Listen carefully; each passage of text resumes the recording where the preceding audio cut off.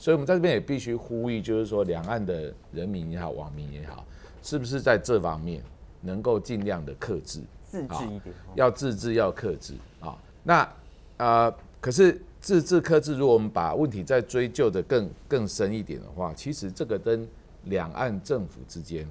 的氛围，嗯，啊，它是有一定的关联性的啊。那两岸政治的对立，其实它推演出来就非常容易发生在这些民众他的投射反应上面，啊，所以我觉得两岸政府之间面临，尤其在面临这样的事情发生的时候，其实是不要再进一步去激化，尤其是政府的发言跟讲话上面，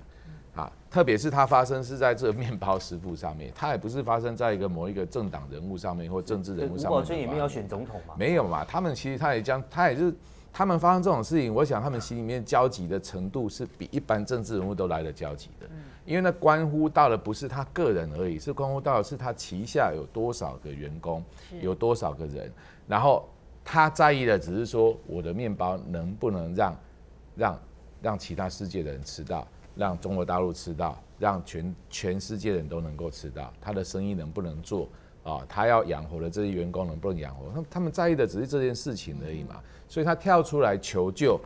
他其实是想我我在想，他第一时间一定想说我要求助于政府了，嗯，但是一想到我求我要求助于现在这个政府，你认为会有可能解决吗？弄我的不对这个政府吗？对嘛？所以所以就是两岸两岸这个中央政府之间，两岸政府之间这个氛围导致他这样，他根本没有办法求助他嘛，所以他最后求助韩国瑜。对，那韩国瑜还好，他作为一个他还当选，嗯，所以他出来讲这个话，某种程度上其实有一种。镇定的效果，嗯，有一种保护的效果，有一种帮他背书的效果。那你想看，如果今天当选的不是韩国瑜的，嗯，那你认为他找谁？所以这个问题就很难解的。所以还是回到说，我们虽然民人民之间会发生这一类类似国家主义、国族主义、民族主义意识形态的事情，可是背后那个政府，如果他的态度是和平的，他的态度两方双方之间是友善的。态度认为是应该避免这样事情发生的，那我相信，就算人民之间发生这样的事情，他也不会无限制、无限上纲的不断的被扩大，啊，可是如果啊政府两岸之间任何一个政府都某种程度上漠视，或者不是往一个说希望这个事情可以怎么样冷静下来，希望这个事情不要再无限上纲，那如果不是这样的话，那我我觉得。这个这样的事情可能不会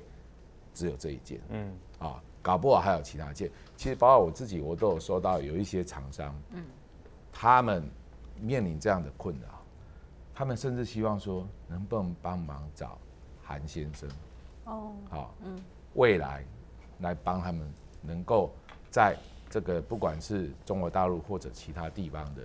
他们在生意上面，或者商品上面，或者是他们生哎这个经济行为上面，不要再受到这一些政治的干预。这个其实是现在很多商人的困扰，我相信绝对不是只有吴宝春一个。